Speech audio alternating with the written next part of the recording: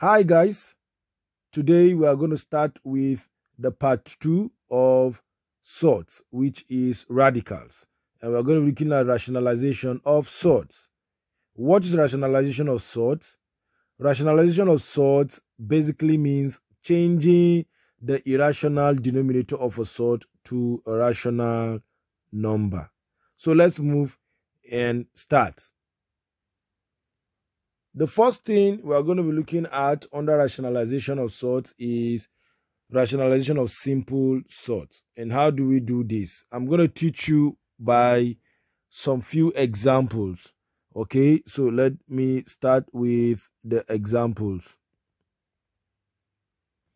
The first one, if you're asked to rationalize 3 over root 2, what do you do? Once you have a simple surd like this and you are supposed to rationalize, what you do to this is you are going to multiply the numerator by what is at the denominator, which is root 2, and of course multiply the denominator by 2.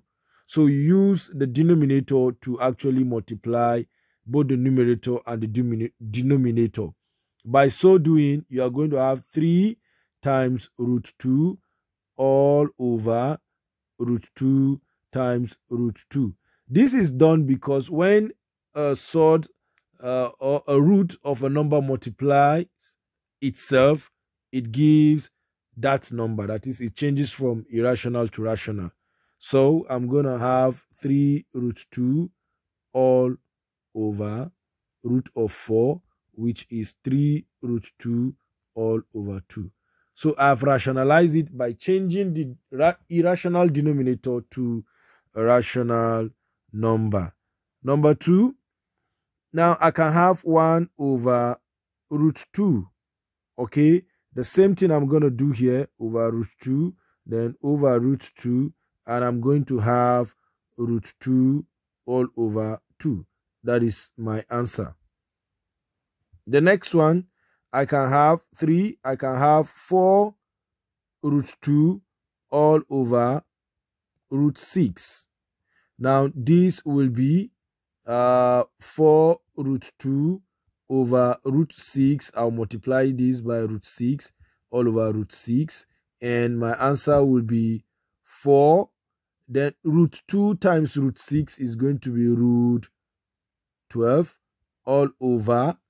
I have root of 36 and this is going to be 4 now root 12 can be written as uh, 2 root 3 okay all over 6 and this is 8 root 3 all over 6 and 2 here I have 4 2 here I have 3 and I'm gonna have 4 root 3 all over 3 then the last one Number four, I can have 5 root 2 all over 2 root 3 to rationalize.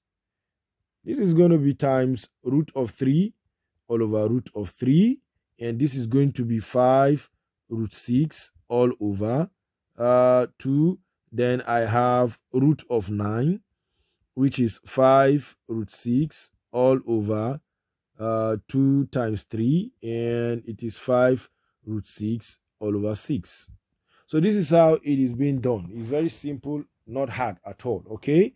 Now let's go to the next which is rationalization of compound surds. Okay, rationalization of compound surds. Example, what about if I'm asked to rationalize 1 plus root of 2 all over root of 2 plus root of 3? How do I do this? Now, why is this called a compound surd? Is because it comprises the addition of one of two or more surds, okay? Now, what seems to be the case in this, to rationalize this, we multiply both the numerator and the denominator by the conjugate of the denominator. And hence, we need to know what is the meaning of conjugate. conjugate of surd. Now, if you have a surd, a surd, then let's talk about the conjugate. Now, conjugate of a surd is another surd that when it multiply the surd in question, everything changes to rational number.